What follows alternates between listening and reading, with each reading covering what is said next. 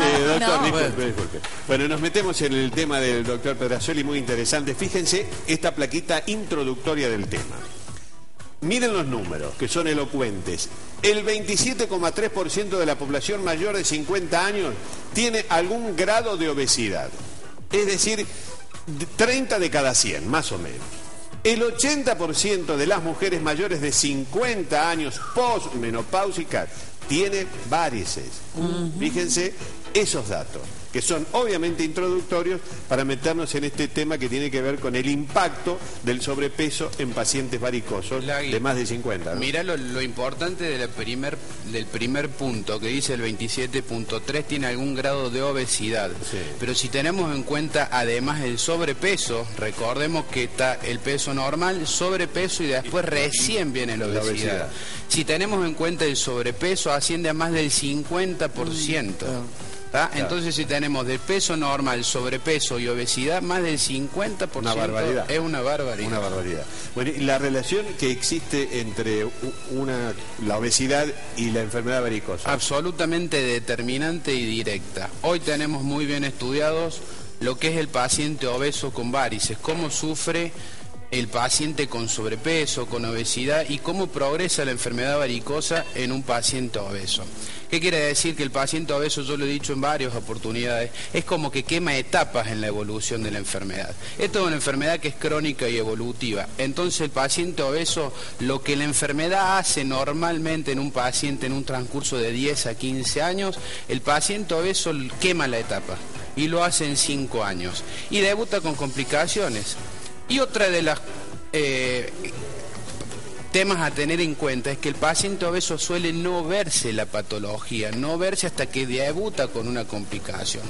Y muchas veces dicen, ¿por qué no me veo? Y porque la capa adiposa, Claro. a donde está Tapa. contenida la vena, tapa la patología. El paciente obeso está acostumbrado a tener sus piernas hinchadas, está acostumbrado a que le duelen las piernas, como está todo sumergido en lo que es la enfermedad, este síndrome metabólico y todas las enfermedades asociadas que traen la obesidad, también dejan de lado lo que es la evolución de la enfermedad.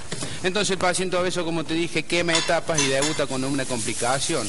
¿Qué complicación? Debuta con una placa de que se llama dipodermitis indurativa. Es esa pierna marrón, es como una mancha marrón que se hace en la pierna por hipertensión venosa crónica. Eh, doctor, ¿y ¿por qué se produce, por qué se menciona ahí los 50 años? ¿Qué hay, ¿Por qué después de los En la 50 mujer es años? determinante porque fíjate que en la placa decía posmenopáusica. Ah, La menopausia es como un gatillo desencadenante. En la vida hormonal de la mujer, siempre teniendo en cuenta que la relación es 4-1, más mucho más mujeres que tienen varices que los varones, entonces siempre es como que la enfermedad va orientada a hablar de la mujer. La mujer transcurre tres etapas hormonales en su vida como muy fabricadoras de varices. La primera es la menarca, que es la primer, mes- la primer menstruación. La segunda es el o los embarazos por la gran carga hormonal y la tercera la menopausia. Y como todos los males de la mujer vienen en la menopausia. Entonces, de las tres etapas hormonales, además por la edad, la menopausia es el momento donde la mujer más varices desarrolla y la enfermedad progresa mucho más rápido. Es como que la paciente llega al consultorio y dice, en estos últimos seis meses, un año, dos años, que es climaterio y menopausia, vi como que las piernas me explotaron, doctor. Eso se llama un puse de avance. Es como que la enfermedad hizo un empuje de avance muy rápido. Ahora, la varice de una persona de peso normal y Sí. la varice de un gordo, Sí. ¿hay, hay diferencia? ¿Es una varice más peligrosa? Sí, la de un hay obeso? El paciente obeso al tener mayor presión venosa es más propenso a tener una trombosis y a tener una varicotromboflebitis. Tiene que tener en cuenta que el paciente que es gordo o obeso no solamente tiene grasa afuera del abdomen, sino que tiene grasa adentro, del ¿Es más abdomen. difícil de tratar el paciente obeso? También es más difícil de tratar, ¿por qué? Porque hay que vencer esa presión venosa, hay que la pared de la vena del paciente obeso es como más consistente porque está acostumbrada a manejar más presiones. Por esto que yo te estaba diciendo antes, como el paciente obeso tiene grasa intraabdominal, ¿viste esos gordos que vos Sí, le sí, tocas sí. la panza y la panza es dura? Sí. Bueno, esa panza es dura porque además hay grasa intraabdominal en todo lo que es el mesenterio, que es todo lo- la tela y todos los tejidos de sostén del intestino.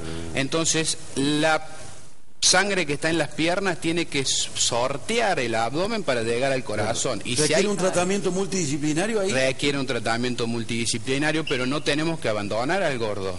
No tenemos que abandonar al gordo. No es que decirle al gordo, primero vaya y baje de peso y después recién nos hacemos cargo del, paciente obeso del gordo. Se Ahora, trata a la par. Sí, claro. Esto le trae indudablemente problemas circulatorios, no solamente problemas de varices. Este, el paciente... Sí, el paciente obeso. El paciente obeso no solamente tiene problemas varicosos, sino que también tiene problemas cardiovasculares. Son pacientes que pueden mm. ser hiperglucémicos. Ahí entra a tener un rol determinante lo que es el paciente obeso y diabético, pacientes que tienen infartos de miocardio por hipercolesterolemia y pacientes que hacen síndromes isquémicos crónicos, que son pacientes que tienen placa de ateroesclerosis porque tienen triglicéridos elevados, tienen el colesterol muy elevado y van tapando sus arterias. Entonces son lo que llamamos también los pacientes panvasculares. ¿Qué significa la palabra pan? Todo. Todo. Panvasculares que involucra el paciente que tiene problemas venosos, paciente que tiene problemas eh, o de oclusiones arteriales y paciente que tienen problemas linfáticos también, que es otra parte de la circulación, que es el, la circulación linfática y son los famosos linfedemas. ¿Es asintomático el, tema del paciente obeso? es lo que te digo, el paciente obeso está muy acostumbrado a, llegar, a llevar su obesidad, a llevar sus dolores, a no moverse. Entonces esto es como toda una bola de nieve. Si yo te digo que en todos los programas digo que mientras menos me muevo, más varices tengo, mientras más gordo soy, menos me muevo. Entonces, toda una bola de nieve que se va agrandando y el paciente se va complicando. La obesidad deteriora, eh, llega un momento que la obesidad empieza a deteriorar la salud de forma muy rápida. Es como yo le digo a los pacientes en el consultorio. La obesidad te va a empezar a cobrar vas a empezar a cobrar y te va a empezar a robar salud de una forma muy rápida, porque te va a empezar a robar salud de la forma cardiovascular, por tu diabetes, por tus varices, y vas a empezar a perder calidad de vida. Pacientes que tienen, son jóvenes, que tienen 40 y 50 años, y que tienen realmente grandes restricciones en sus vidas laborales, familiares, sexuales, de pareja, por la obesidad que tiene y por todas las patologías asociadas que traen. Ahora, doctor, ¿cómo se ¿cuál es el tratamiento indicado para un obeso con varices? Justamente en un obeso, si tenemos un paciente obeso que meten al quirófano un paciente obeso ya es considerado de alto riesgo, todas las técnicas mínimamente invasivas y no quirúrgicas son las indicadas. El último trabajo que se presentó en relación a la obesidad se presentó ahora en Pan Spring, que yo estuve en, el Congreso, inclusive en el Congreso ahora en Rosario la semana que viene, yo soy un comentador de este trabajo, y se habló de lo que es la escleroterapia en pacientes obesos con índice de masa corporal, índice de masa corporal mayores de 35, que quiere decir con obesos mórbidos. Y la indicación por consenso fue que es la escleroterapia, que son estas técnicas no invasivas, inyectar una sustancia, esclerosante en forma de espuma dentro de la varice con el objetivo de eliminar definitivamente la varice y de forma ambulatoria y sin riesgo para el paciente. Doctor, muchas gracias. ¿eh? A sus órdenes, como era muy amable.